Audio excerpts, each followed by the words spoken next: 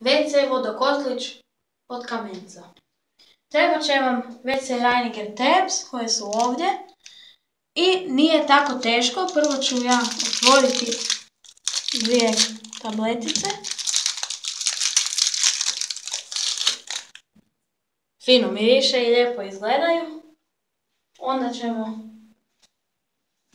skinuti ovo gornje na pokrov i ovdje ovako izgleda unutrašnjost WC vodokotlića.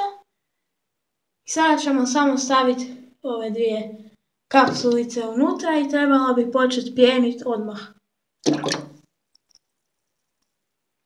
Evo već pijeni, neka plava boja, to bi trebalo brzo djelovat i sav kamenac bi trebao otići. Nadam se da vam je ovo bilo korisno. Ovo bi se trebalo u desetak minuta rastopiti. Vidimo se u sljedećem videu.